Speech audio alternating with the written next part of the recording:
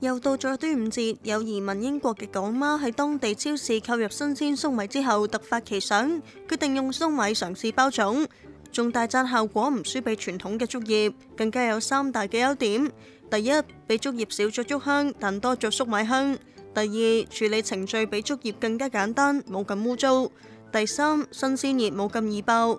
網民睇完港媽嘅示範文，都紛紛直呼佩服啊！大讚佢嘅廚藝同埋創意兼備，展示咗香港人轉數快嘅特質。